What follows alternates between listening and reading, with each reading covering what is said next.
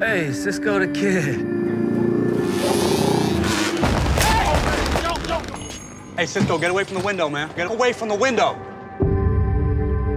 I'm counting on you to take care of Junior, right? He looks up to you. 35 days absent. What are you doing with your time?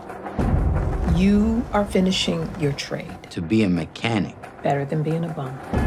You have to do something with your life. What are you good at? What is that? Oh, this is Molly. Yo, you crazy? We could sell these. Can't even help our families. You a grown man now. Grown man that can make your own decisions. Molly? Let's get paid. Paid. God damn.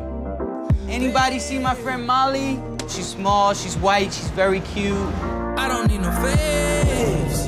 All I need is blue face. I got 150. 200. Moving up George Jefferson. Where's this money coming from? Shopping sprees, I know you. We got jobs. No trouble? First class talking 1A. No trouble.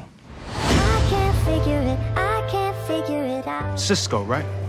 You all got something that don't belong to you. And I told you I ain't take your pill. Could be delirious to take life serious. Remain single forever, can't wipe nothing, period. This pill belongs to my mother. She's been running game here for years. Time thinking we on a dying spree. Just like the, the go figure. Some sh- they said they might never fit. More commas, more hating ass problems. I shouldn't have to explain to you how dangerous this is. That's it? Oh, I'm done. We got something here. It's our time.